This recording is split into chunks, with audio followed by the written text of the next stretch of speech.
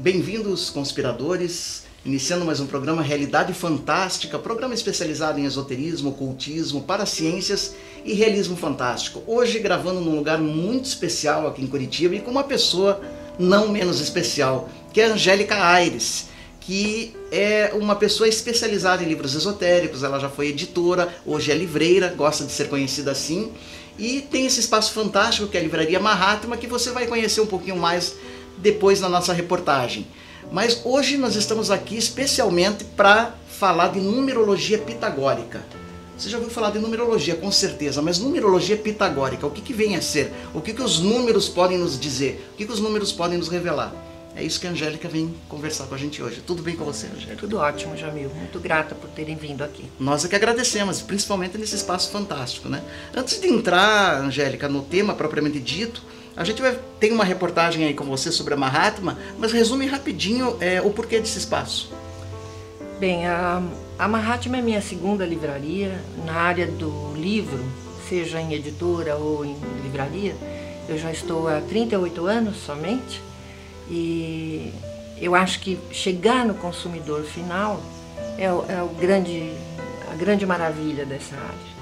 Porque você editar livros é, sem saber o que, que eles vão resultar na vida das pessoas é uma coisa. E você perceber as pessoas se modificando através dos livros é outra. Então, é, depois de trinta e tantos anos trabalhando na área, realmente ter livraria é o que me encanta. E eu escolhi Curitiba pelo nível de, das pessoas. Eu tive livraria em São Paulo no começo dos anos 90, mas é, embora tivesse muito público, eram pessoas mais em busca de novidades e não tão aprofundadas na sua leitura. E aqui não, aqui eu tenho clientes que é, esmiuçam os assuntos que são do seu interesse de forma muito fantástica. Ou então que conhecem um autor, gostam dele e querem conhecer toda a obra.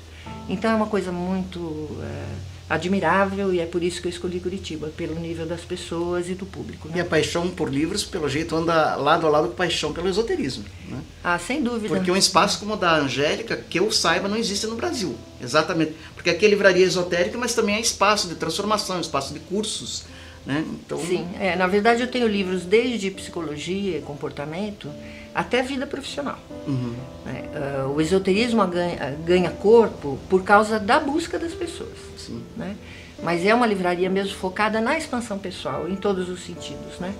É, tem coisas de alimentação, tem coisas de yoga, tem um pouco de tudo. Que maravilha. Mas você vai conhecer melhor na nossa reportagem especial. Angélica, vamos falar de numerologia. Né? Inclusive eu vi que você preparou aqui para nós, é, para nossa vinda né, na Mahatma, uma mesa fantástica só com livros de numerologia. Você está acompanhando aí no vídeo. Né, essa mesa completa. Aqui tem quantos livros mais ou menos, Angélica? Tem uns 20, mais de 20 não, livros? Deve ter por volta de 40. Faltam 40 alguns livros. porque a mesa não foi suficiente. Pois é, eu estou vendo que inclusive é, alguns fora de catálogo, até raros. A maioria, né? a maioria. Bom, creio que você estudou todos eles. Todos eles. Sem exceção. Então comenta, conta com a gente primeiro o que é numerologia, um pouquinho da história dela e a que ela se destina. Tá bom. Uh, a numerologia ela se assemelha um pouco à astrologia. São duas linhas consideradas mais científicas dentro dessa área e não adivinhatórias ou divinatórias. Né? Uh, a numerologia faz um estudo da personalidade do indivíduo, da forma como ele veio viver essa vida para onde ele caminha, mesmo que ele não saiba disso, e o que, que ele deve aprender para que a sua vida e as suas energias fluam. É, eu atribuo né, essa linha que eu trabalho a Pitágoras porque ele foi o primeiro que falou que os números, além de mensurarem coisas, de serem quantitativos, eles eram qualitativos. Né? Pitágoras tinha a década pitagórica, onde ele punha características a cada número tal. É, de fato, ele não criou nenhum sistema de numerologia. Certo. Ele só nos lembrou que tudo na vida é número sem e é dúvida. é geometria. Né? Então, é, geometria sagrada, né? Sim, sem então, dúvida. Comenta. Então, o, a numerologia que eu chamo de pitagórica é por conta disso. Sim, é, é, uma, é uma linha, grande... tem ele como grande inspirador e é uma linha absolutamente lógica. E o que, que essa numerologia, você pode contar mais ou menos como ela funciona, como ela é aplicada nesse trabalho que eu considero um trabalho de autoconhecimento, né? Sim. Você falou que não é tão divinatório, é mais de autoconhecimento. É de autoconhecimento. Você aprendendo a plantar, você sabe que você vai colher. Não precisa Perfeito, adivinhar o que você vai colher. Você não precisa adivinhar. É só saber, só saber plantar que você vai colher aquilo que você deseja. Então, se você puder elucidar um pouquinho como é que os números, né, é, eles conseguem, né? Primeiro, como é que você identifica os números da pessoa, né? Como é que esses números agem em relação à pessoa e como é que eles podem nos revelar a personalidade Tá dela? Embora seja assunto para toda a vida. Com toda né? certeza. E Vamos para programas um- também há de infinito? Também. Mas é assim, a numerologia, além de trabalhar o indivíduo, pode trabalhar eh, empresas, pode trabalhar momentos, situações, eh, circunstâncias. Que né? interessante. É uma análise que pode ser feita eh, em qualquer aspecto da sua vida. A numerologia pitagórica parte de uma tabela que eh, faz uma, uma correlação entre as letras do nosso alfabeto e os números, de 1 a 9. Há uma brincadeira, inclusive, que se, se faz de que o Pitágoras não usava o número 10, porque 10 é um número divino e nós estamos falando de pessoas e não de deuses. Ah, ok. né? Na verdade é uma brincadeira, porque 1 mais 0 vira 1 de novo. É por isso que a tabela pitagórica vai de 1 a 9. Ah, ok. Todos os ciclos da nossa vida, de acordo com essa linha, acontecem de 9 em 9 anos. De 9 em 9 anos. É, ao contrário do que acontece em outras linhas, que são os setênios, etc. Na numerologia pitagórica, de 9 em 9 anos. Existem vários sistemas de numerologia eh, e várias controvérsias também. Certo. Ah, O sistema mais conhecido é a Cabala hebraica, né? mas é, de cunho mais filosófico, religioso. Inclusive, É. existe alguma linha de diálogo que possa ser estabelecida entre a Cabala, por exemplo, e a, e a numerologia que você faz? Não, não, nenhuma. A única linha de diálogo entre todas as linhas é o sujeito. O sujeito, tá? né? É, qualquer linha tem que se, que se propõe a avaliar ou analisar alguém é, tem que fazê-lo bem, Com certeza. né? Então a, a linha que une tudo é o próprio sujeito. né? A forma varia enormemente. Tem a numerologia caldeia, a chinesa, tem diversos sistemas. né? Bom, nós consideramos a eficácia de um sistema pelos seus resultados. São quantos anos trabalhando ou atuando como, com numerologia pitagórica? 28 anos. 28 anos. E você pode atestar nesses 28 anos, fala um pouquinho dos resultados Ah. desse sistema sobre a vida das pessoas, de instituições e de momentos. Sem, sem nenhuma dúvida. É, eu já não atendo mais pessoas Uhum. há cerca de 4 ou 5 anos por absoluta falta de tempo, por causa da Mahatma. Mas, além de atender durante muitos anos, eu trabalhei na área organizacional, como sócia de uma consultoria de desenvolvimento de pessoas em São Paulo, durante seis anos. Então, durante seis anos, eu analisei pessoas dentro das organizações e acompanhei o desenvolvimento dessas pessoas nas organizações. Para você usar uma linha como essa, todos os meus clientes sabiam que, você essa trabalha. linha era usada em conjunto com o trabalho da psicóloga de quem eu era sócia. Né? Uhum. Para que você pudesse usar isso na área organizacional, você tinha que demonstrar resultados mensuráveis. Né? Com certeza. É, então nós tínhamos que ver a- em que proporção tinha o acerto daquele trabalho. A numerologia proporcionava 98,5% de acerto. Nossa, uma taxa tão alta assim. Altíssima. É quase 100%.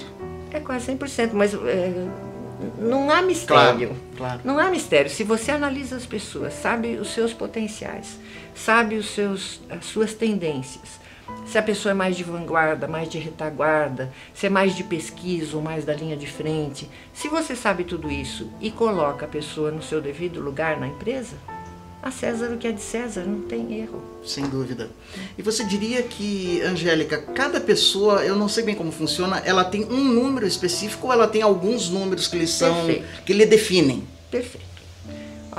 Não vai dar para mostrar Dá, detalhes, sim, dá, mas vamos- de toda esse aqui é o mapa do. Gandhi. Do Gandhi. Pode falar com ele que já está aparecendo em destaque na tela. Então, esse é o mapa do Gandhi, assim é esse gabarito é um Do gabarito Gandhi ou Mahatma Gandhi? do Mahatma Gandhi. Que coisa. É.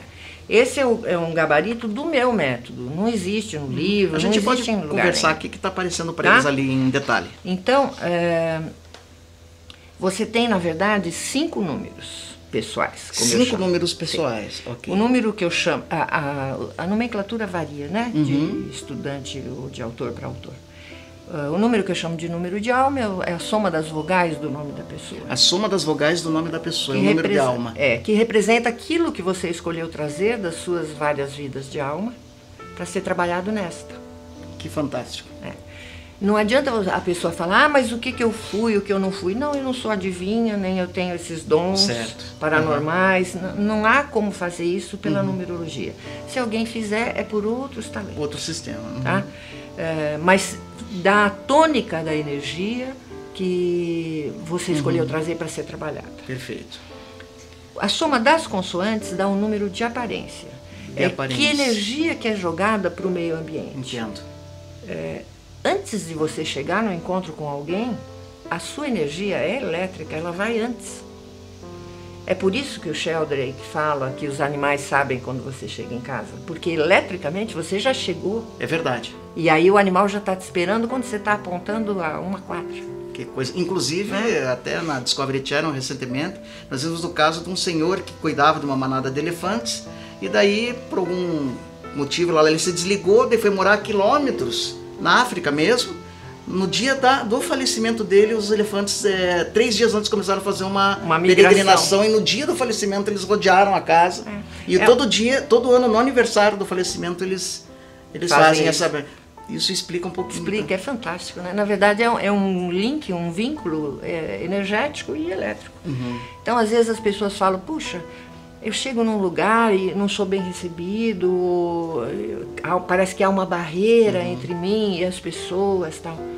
Às vezes há mesmo. Uhum. Você escolheu trazer uma energia projetada para o ambiente que te protege. Então te esconde. Entendi. Por isso você sente assim. Essa energia projetada para o ambiente pode ser tanto uma barreira para te proteger, quanto um ariete para abrir caminhos para você. Que interessante. Mas depende de você conhecê-la. Senão você não vai usar o potencial dela. Então, voltando ao mapa do Gandhi, por exemplo, o que, o que mais que você pode nos explicar aqui? Porque eu vejo que você, assim, enfim, por exemplo, aqui é, é, é esse parece um jogo da velha, mas o que, que, seria? Tem muitas coisas, na verdade. O Gandhi, ele trouxe uma alma 3 e ele deseja ser um 3 também. Desejava uhum. ser um 3. Uhum. Aí você fala, puxa, mas o sujeito já é essa, essa vibração. Uhum. Por que, que ele quer ser a mesma vibração? Uhum. Uhum. Só que ele vem de, os números vêm de formações diferentes. Ah, entendo. A grande diferença do meu método é que eu analiso os números que formam o número final. Ah, entendo. E isso não é feito em outros métodos. Ah, tá. Então é um método, poderíamos dizer, quase que exclusivo. É exclusivo. Que é coisa. exclusivo. Então, porque se você tem milhões de pessoas que querem ser como Gandhi, um comunicador, uhum. uma pessoa envolvida com as pessoas, embora no começo da vida dele ele fosse avesso a conversas. É verdade, a gente né? sabe pela biografia dele. Exatamente, ele próprio revela uhum. tal, né? É, por que isso? Porque em vivências anteriores ele abusou dessa comunicação. Então ele veio reaprender a comunicação dele. Que coisa. Tudo isso que você vê no mapa do Gandhi são cana canais, caminhos para ele fazer isso. Interessante. Em algum momento nesse mapa numerológico pitagórico aparece a projeção que ele assim adquiriu, a condução de massas, alguma coisa assim? Sim, é, o que ele veio ser, que é o número 3, é o número do brilho, do sucesso. É, o número da Mahatma. Ah, é o número da sua livraria. é o número que leva você a ser sociável, comunicativo, a ter interação com as pessoas. Eu vejo que você tem aqui também, por exemplo, desafio principal, desafio adicional. Você pode explicar o subdesafio, né? É. O que, que seria? O, mapa isso? numerológico ele trabalha então o que a pessoa era uhum. em vivências anteriores, o que ela mostra ser, o que ela deseja ser, o que ela veio aprender a ser e qual o farol, qual o norte que norte, ela tem que usar para que isso aconteça. Fora isso, o mapa mostra desafios, são como pedras no sapato. Você tem que trabalhar aquelas questões a vida toda. Que coisa. Aí você fala, ah, já, já me livrei. Eu, por exemplo, tenho o desafio 3, que é o desafio de me sociabilizar, me comunicar. Hoje eu me comunico. Sem dúvida. Mas antes. Ah, você tinha dificuldade com isso? Não, eu, eu era, tinha um afastamento enorme. disso. Então, além de ser o número da Mahatma, é seu número também, o 3? Não. É, eu tenho como quinta essência, que é o meu uhum. norte. Ah, como norte. Ok. Usar essa, essa, esse número. Assim que eu conheci a numerologia e vi que o, se eu usasse esse, essas uhum, características, uhum. a minha vida fluiria, foi aí que a minha vida mudou completamente. Que coisa.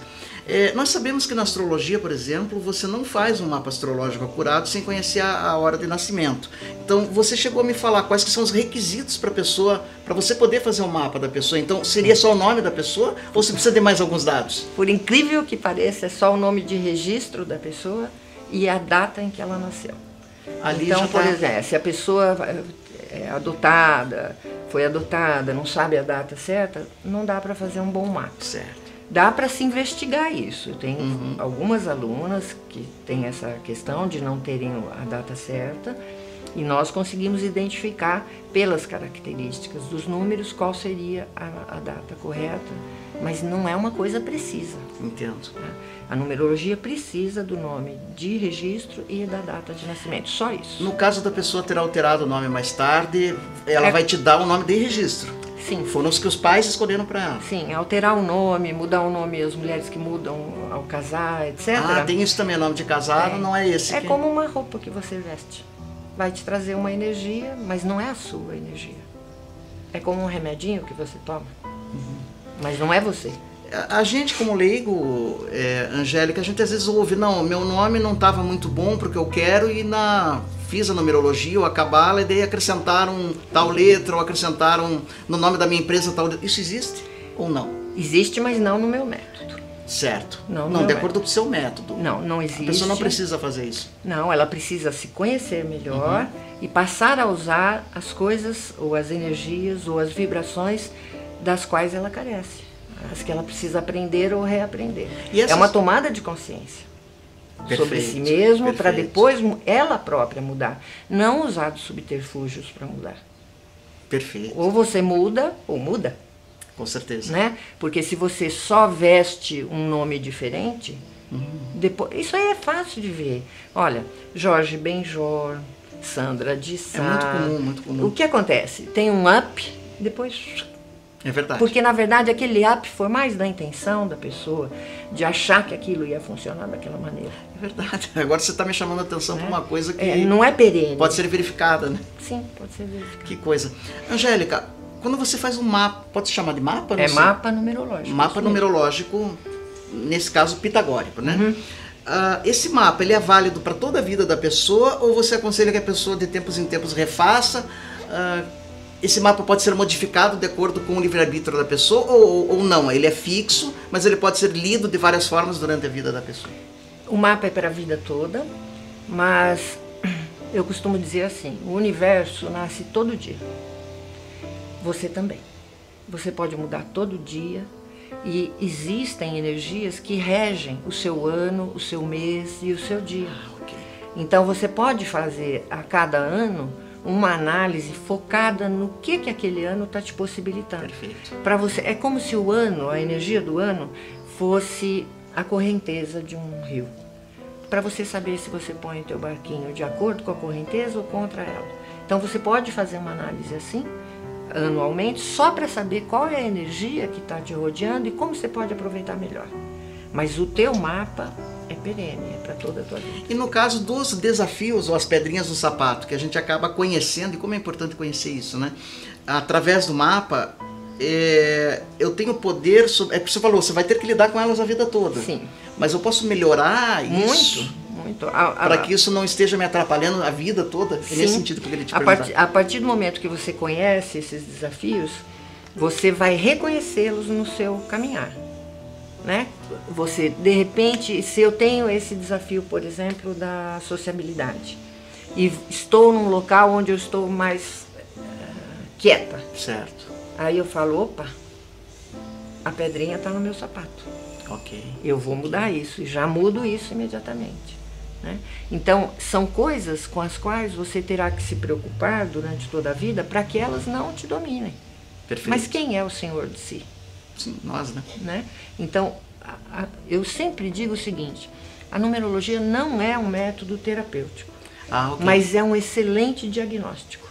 Então, quando você aprende Uhum. mais sobre você, você toma as rédeas da sua vida. Você diria que ela não é um método terapêutico, ela não se propõe a isso, mas ela, por efeito colateral, acaba se tornando terapêutica em- Pela tomada de consciência. pela tomada de consciência. Pela tomada de consciência. Interessante. É.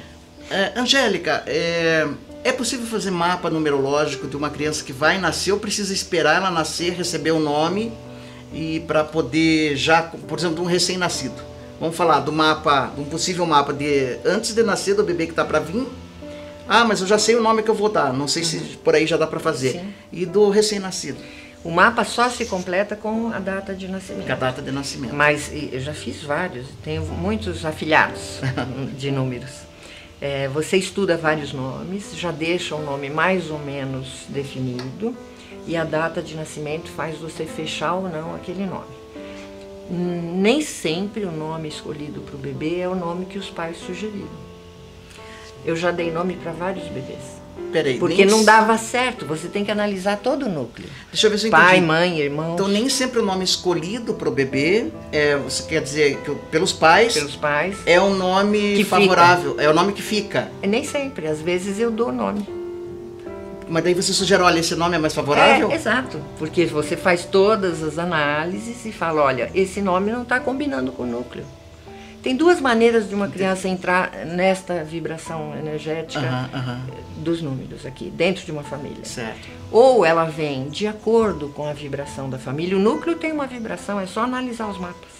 É verdade. Ou ela entra de acordo com aquela vibração, ou ela vem para cindir, para romper aquela vibração e ensinar algo mais contundente para aquele núcleo familiar. Ah, ok. E isso, quando você vai fazendo, às vezes eu faço 40 nomes diferentes, variações de sobrenomes. São muito, é uma análise bem aprofundada. Né? Porque tem que constar os mapas dos pais, dos possíveis irmãos, se existirem. Que bacana, não sabia que tinha essa aplicação também. Tem. Por falar nisso, a análise, não sei como é que você chama, consulta, análise, quando a pessoa vai. Não sei se tem um nome, né?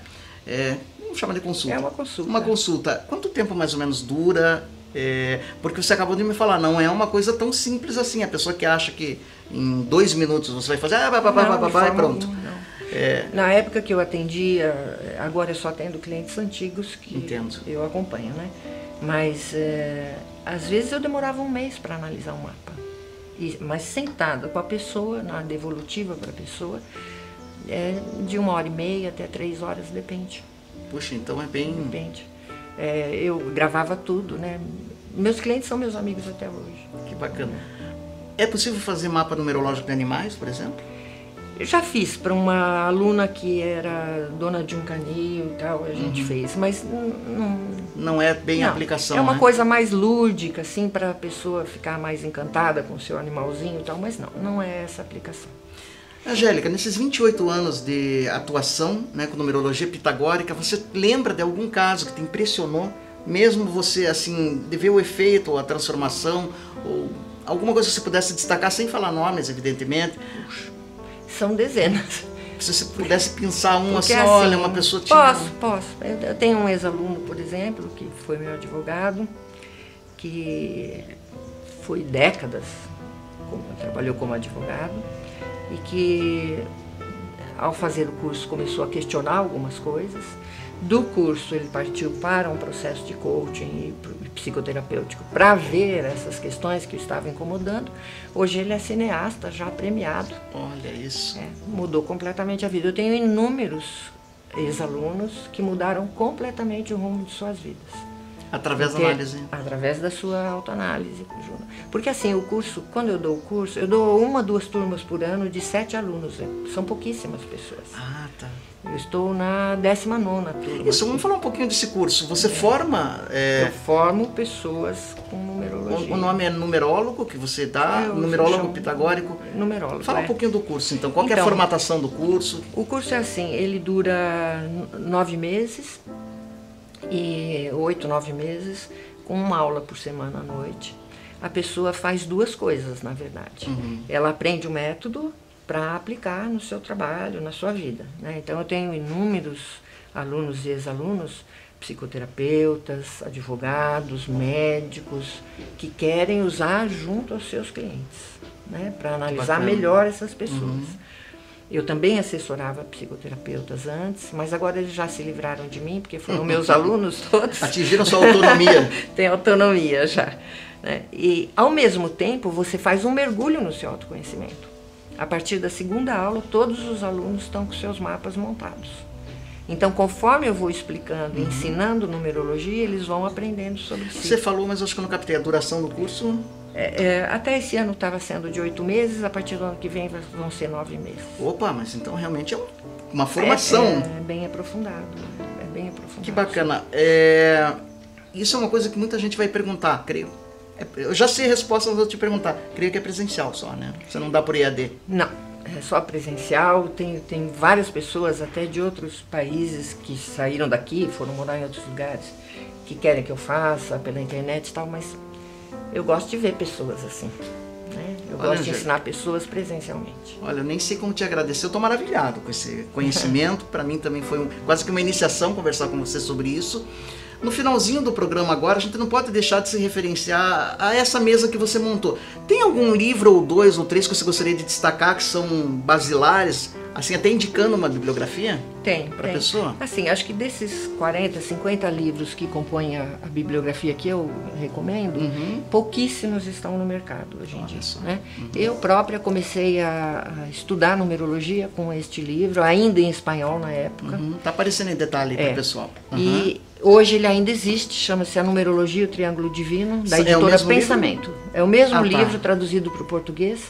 A editora Pensamento mantém esse livro em catálogo até hoje. Ah, está disponível. Olha esse aí, gente, é então é. você pode adquirir. Esse é o mais próximo do meu método. Do seu método. O mais uhum. próximo, embora tenha umas coisas divinatórias que eu uhum. não, não Já trabalho, não, né? Não trabalho. Mas tem livros incríveis. Tem um livro do Feuerstein, que o pessoal da área de yoga conhece muito. Uhum. O Feuerstein, antes dele atuar na área de yoga, ele fez esse livro que é a espiritualidade através dos números. Então, aquelas curiosidades, de onde vem aquela história do 666 e dos ah, números sim, duplos, sim. etc, etc, tem tudo tem no tudo livro aqui. do Forte. Pena que só tem sebos, né? é, uma coisa importante da gente dizer é que é, não tem como estudar profundamente numerologia e querer atender pessoas com numerologia pitagórica sem estudar a vida de Pitágoras. Olha, não há como. Isso, hein? Não há como, porque você tem que entender qual era a dinâmica do pensamento dele. Angélica, para encerrar, eu não posso deixar porque eu sou fã da pessoa, né? Fala um pouquinho desse livro aqui que eu tô de olho comprido, né? É o livro do Papi, né? Do, vai, vai Ger ficar de olho comprido. Gerard Anacleto Vincent Ancus, que é o grande Papi, grande mago, cabalista do século XIX. Esse é o livro mais aprofundado que tem acerca de números, não de método numerológico. Uhum mas acerca de números. Ele tem até as frequências, as harmonias dos números. É, é bastante aprofundado, foge inclusive ao meu conhecimento, que é muito pouco perto do que ele traduz aqui. Uhum. Mas, é, como você falou, é um livro importantíssimo, porque eu não sei se todo mundo sabe, mas a gente ama música, por exemplo, adora música, mas música é número. É número. E as pessoas às vezes não sabem disso, né? E aqui tem as harmonias dos números certeza. Então é, é fabuloso. Angélica, Ele olha. fica só de olho comprido. Não, ah, fica tranquilo. tranquilo. E não será afanado, né? Para compor a minha biblioteca pessoal. Angélica, muita gratidão por você ter nos recebido. É, espero voltar outras vezes né, para conversarmos sobre outros assuntos aqui na Mahat. Tá? E você fica aí com a reportagem, não esquece, está aparecendo aí, apareceu algumas vezes durante o programa essa tarde se referindo à reportagem sobre a Mahatma com o nosso diretor e repórter Márcio Slompo, que é um espaço que vale a pena conhecer. Se você não conhece, venha conhecer a Mahatma, venha conhecer a Angélica, porque é um espaço transformador. Assine o nosso canal aqui no YouTube, deixe no feed a sua impressão do nosso programa, a sua sugestão de pauta, curta a nossa página no Facebook e mande o seu e-mail para o programa Realidade Fantástica. É sempre um prazer receber esse feedback de todos vocês. Lembrando sempre que o mistério está entre nós. Até o nosso próximo encontro.